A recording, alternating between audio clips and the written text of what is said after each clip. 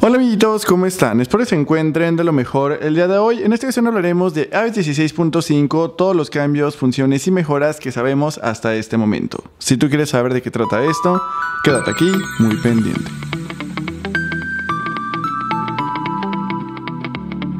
Y comencemos con este video.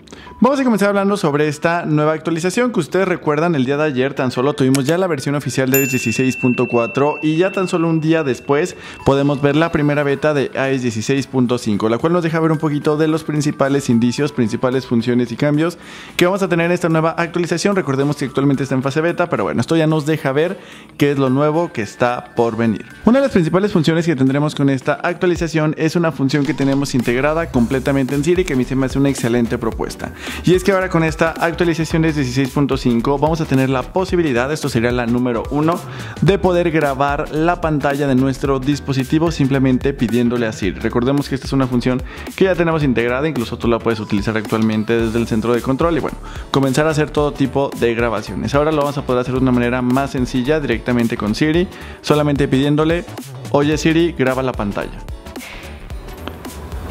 Como te puedes dar cuenta, actualmente nos dice que no tengo ninguna aplicación para grabar la pantalla que se llame con este nombre, por lo cual ahorita en esta versión no podemos, pero esta actualización no lo va a permitir. La número 2 que tenemos, que bueno, también esta ya está confirmada, es una función que viene integrado en lo que sería la aplicación de Apple News.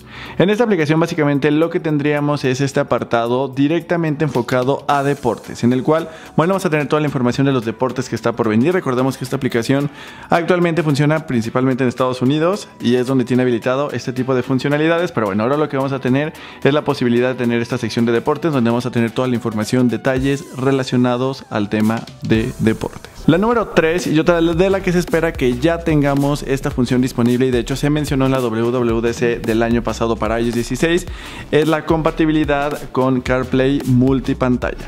Si ustedes recuerdan ya lo habíamos platicado pero si no te lo vuelvo a mencionar y es esta posibilidad de que CarPlay funcione con en este caso coches o sistemas de coches con diferentes pantallas, con diferentes widgets, diferentes funciones, todo integrado directamente CarPlay. Y aquí podemos ver, bueno, un claro ejemplo de que tendremos estos widgets que nos permite saber información de la velocidad con la que vamos, qué kilómetros ha recorrido con este coche, diferentes detalles que todo esto se podría controlar desde CarPlay integrado como lo que tenemos actualmente, pero más enfocado en todo el sistema del vehículo, por lo cual es una propuesta que se espera que ya lo tengamos con esta actualización. Así mismo aquí podemos ver unos pequeños detalles de cómo se podrá ver la pantalla interactiva. Recordemos que es necesario que el coche sea compatible con este tipo de tecnología, pero se espera que ya se vea la luz y es más o menos la expectativa que tienen actualmente los coches para estar funcionando. La número 4 que tendremos es una, sobre todo en temas de seguridad, creo que es bastante bueno. Y es una funcionalidad integrada en la aplicación de mensajes, en el cual cuando tú estuvieras enviando algún tipo de mensaje por medio de iMessage, podremos ver este tipo de mensajes en el cual nos indica que alguna cuenta con la cual nosotros nos estamos enviando mensajes ha sido agregado recientemente o se le agregó un nuevo eh, dispositivo recientemente. Esto nos permite saber que realmente estamos chateando, enviando los mensajes con la persona que queremos contactar y bueno, es una medida de seguridad que se espera que ya venga integrada con esta siguiente actualización. Ya por último, la número 5, se espera que ya tengamos más enfocado lo que es el tema del Apple Pay Later.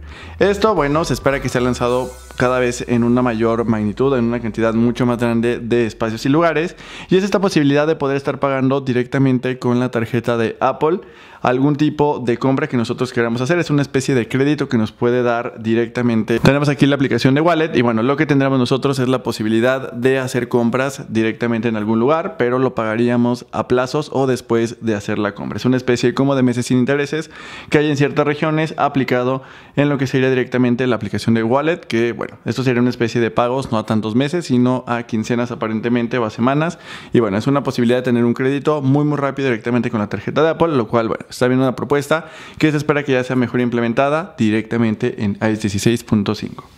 Te tomas en la parte de aquí abajo en los comentarios, déjame saber cuál de estas funciones fue tu favorita. Recordemos que es la primera beta, apenas empieza a ver un poco de lo que está por venir, pero se espera que también tengamos más detalles, más funciones conforme vayan pasando las betas. Tomas te recuerdo que aquí abajo en los comentarios, déjame saber tu función favorita y qué otra cosa crees que le faltaría a esta nueva actualización. Tampoco olvides suscribirte, ya sabes que lo puedes hacer directamente aquí en este botón que te dejo en esta parte de tu pantalla y videos que te recomienda YouTube basado en tus intereses. Ya saben que nos vemos en un próximo video con más sorpresas, más videos. Gracias por todo, nos vemos. Bye.